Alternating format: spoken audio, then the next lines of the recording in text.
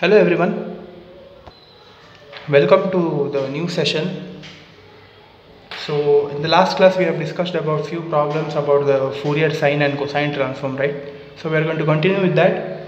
So today's first question, that is the third question that we are solving is we need to find the Fourier sine transform of f of x is equal to which is given as e to the power minus mod x and also we need to show that the interval from 0 to infinity x sine mx divided by 1 plus x square is equal to this value. That is pi by 2 into e to the power minus m where m value is given as it is m is strictly greater than 0 okay?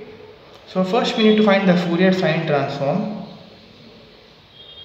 We know that by the definition of Fourier sine transform it is given as fs of s is equal to 0 to infinity f of x into sine sx into dx. So now substitute the value of uh, f of x here e to the power minus mod x sine sx into dx.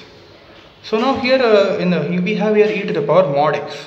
So we have that we know that uh, for mod x we have two values that is one is minus x and one is and one is plus x.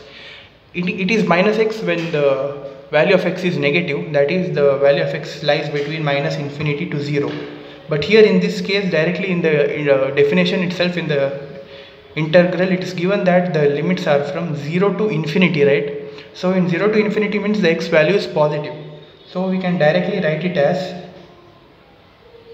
e to the power minus x itself okay? It is a positive x since the limits are from 0 to infinity to dx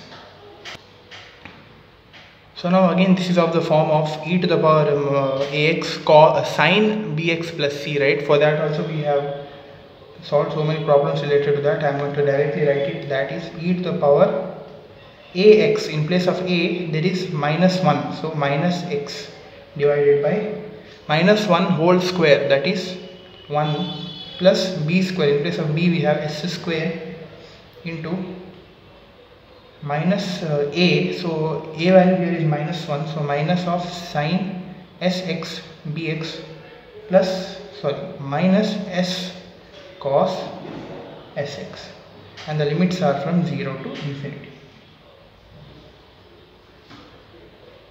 So now again in this we can take 1 by 1 plus s square common and e to the power minus x common for these two terms that is minus sine sx minus s cos sx so now apply the limits. 1 divided by 1 plus s square. E to the power upper limit is infinity. Minus sine infinity. Infinity replace the value of x by infinity. Infinity into anything is infinity again. Minus s cos infinity. Minus the lower limit e to the power 0 minus sine 0 minus s cos 0 so here we know that e to the power minus infinity is 0 so this whole term is 0 now. Sine 0 is 0 1 by 1 plus s square into minus into minus is plus and e to the power 0 is equal to 1 along with s cos 0 we know that cos 0 is again equal to 1 so the, we have left with the term s so the final f inverse uh, Fourier sine transform is given by s divided by 1 plus s square. Okay? So now using this we need to evaluate one case that right? For that we need the inverse Fourier sine transform. So now we are going to use that. So the integral of uh, inverse Fourier sine transform is given as 2 by pi from 0 to pi f s of s that is Fourier sine transform into sine sx into ds that is again equal to f of x. Right? Okay so now again with this we are going to replace it by f of x is equal to 2 by pi 0 to pi. The value of f of here we have got here is s divided by 1 plus s square into sine sx into ds and here we got uh, in the question f of x is given as e to the power minus mod x right? And mod x here since the interval is from 0 to infinity it is e to the power minus x. 2 by pi 0 to infinity s divided by 1 plus s square sine sx into ds so now bring this pi, uh, 2 by pi to the other side. So it will be pi by 2 into e power minus x is equal to 0 to infinity s sine x sx divided by 1 plus s square into ds. So now we are nearly reached the solution. So in the question it's given that we need to prove it at x sine mx right. x sine mx divided by 1 plus x square is equal to pi by 2 into e to the power minus m. But we here we have got it as pi by 2 into e to the power minus x right? So in order to make the this term equal to the condition given in the question well we are just we need to replace the value of x by m in this whole equation okay? So now we need to put x is equal to m. And let's see what the equation would be looking like so now if we replace the value of x by m, it would be pi by 2 into e to the power minus m is equal to 0 to infinity s sine sm x is replaced by m divided by 1 plus s square into ds. Yeah, so now we are nearly reaching the answer that is in the question it's given as x sine mx divided by 1 plus x square right? So here nothing much to do. We need to replace the parameter s by x. So that we will get the answer. That is 0 to infinity. So wherever s is there replace it by x. So x sine mx s is there. So 1 plus s square would be become now x square. Ds would be dx and the left side is same that is pi by 2 into e to the power minus m. So we have uh, shown that it is it was given in the question to show this right. So we have shown that x sine mx integral divided by 1 plus x square is equal to pi by 2 into e to the power minus m. Okay. So this was the first question. So we have one more, uh, few more questions. So now we are going to solve this. So this is your next question we need to find the Fourier sine transform of f of x uh, where f of x has the three following values. That is f of x is 4x when x lies between 0 to 1 and it is 4 minus x when x lies between 1 to 4 and it is 0 when x is strictly greater than 4 okay? So now we'll apply the formula for Fourier sine transform. It is given as fs of f of x is equal to 0 to infinity f of x sine sx into dx. So now we are going to split the limits that is from 0 to infinity right. So first we are going to write it from 0 to 1 then 1 to 4 then greater than 4 so 4 to infinity. So now f of x is given as now first interval is from 0 to 1 now in 0 to 1 the value of f of x is 4x right sine sx into dx plus now the interval is from 1 to 4 and the f of x value is 4 minus x sine sx dx plus 4 to infinity the value of f of x is 0 sine sx into dx. So here we have 0 f of x is 0 so 0 into anything is 0 and the integral of integral of 0 is 0 itself. So this term I'll we can neglect it. So now for these two terms we are going to solve this okay? So take this 4 outside and uh, do the Bernoulli's rule for the rest of the function that is x right first function as it is into the integration of second function that is minus cos sx by s minus the differentiation of x is 1 into the integral of integrated function that is minus sine sx by s square and the limits are from 0 to 1 plus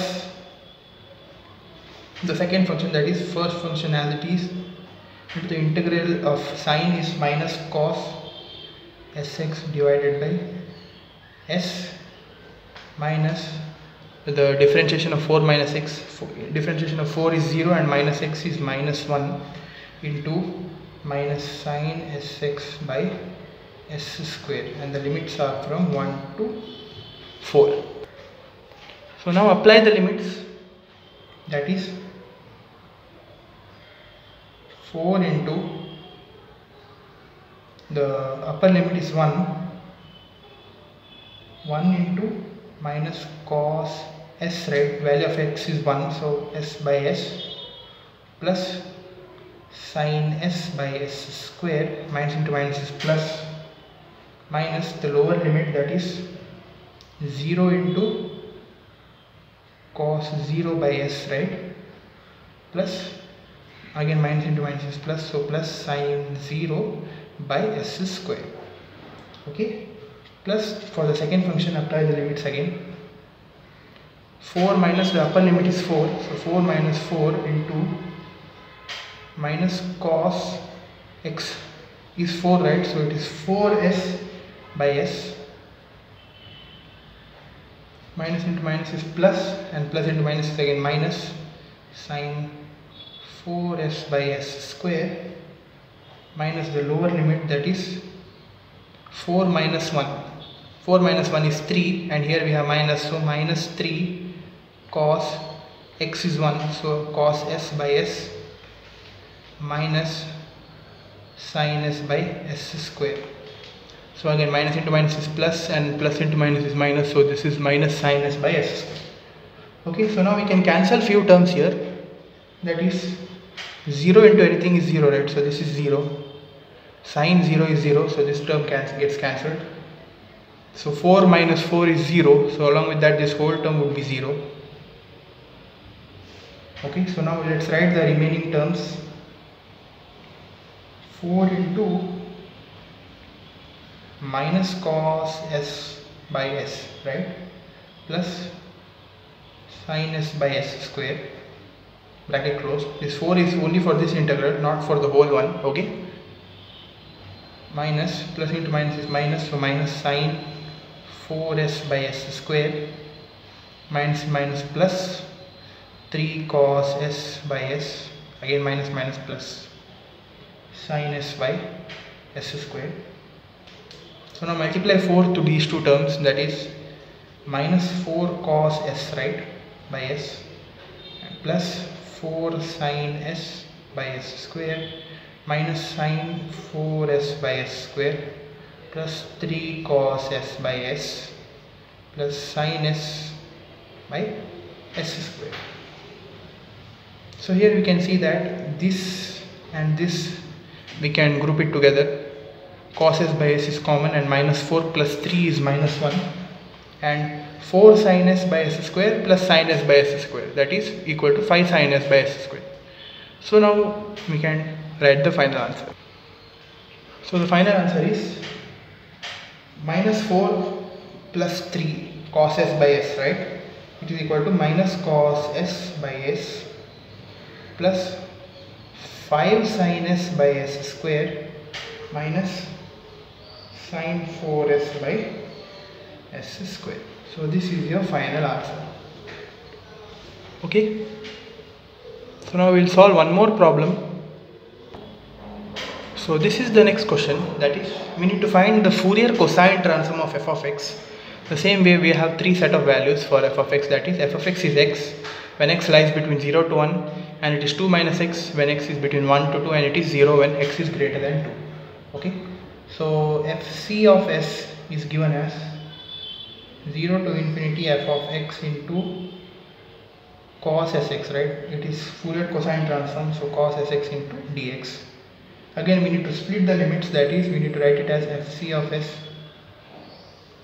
0 to 1 in 0 to 1 the value of f of x is x cos sx dx plus from the interval 1 to 2 2 minus x cos sx into dx. So from the interval 2 to infinity the value of f x is 0 right so I am not writing it again. So for these two we need to solve.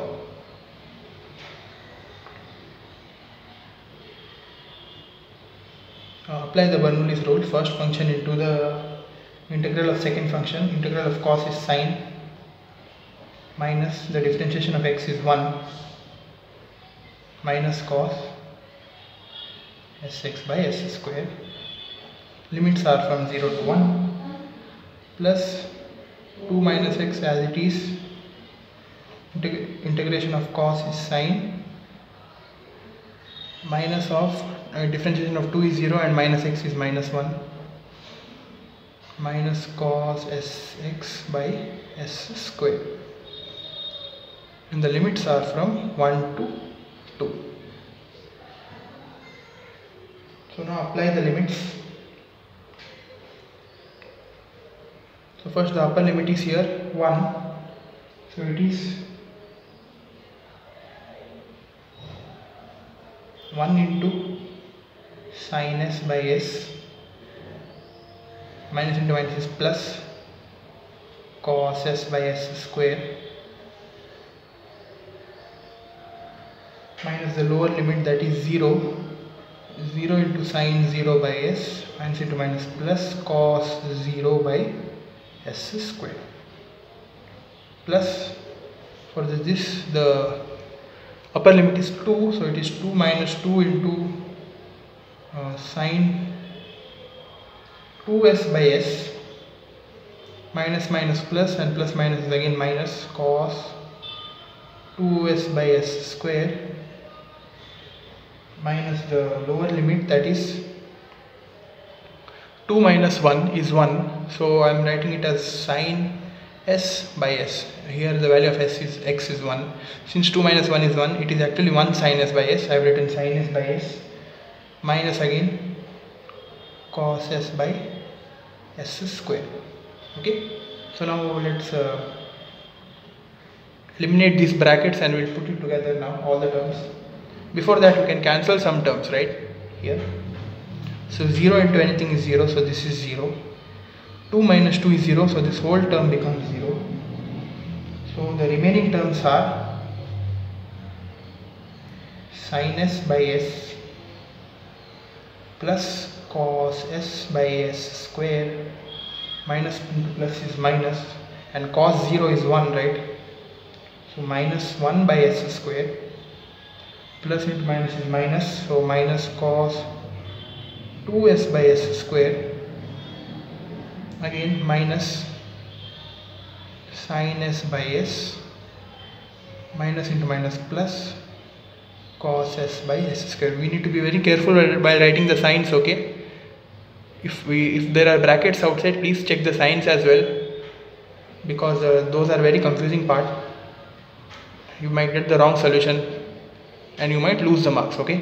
So here we can cancel my sin s by s and minus sin s by s right?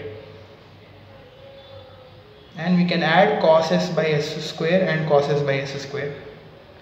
So the remaining terms here are cos s by x square plus cos s by s square is equal to 2 cos s by s square minus cos 2s by s square minus 1 by s square. So here we can see that 1 by s square is common for all the terms. Take that outside and the final answer which we get is equal to 1 by s square into 2 cos s minus cos 2s minus 1 so this is your required answer okay? Yeah so that's all for this session. We have solved uh, many problems. So in the next session we are going to uh, solve uh, these problems itself but by using a new method that is the integral instead of giving the f of x values and f of s values the direct integral would be given. By using that we need to use the uh, we need to first identify the seeing the integral that whether it is a Fourier sine transform or cosine transform after that we are going to solve those. Okay? Yeah so that's all for this session. Thank you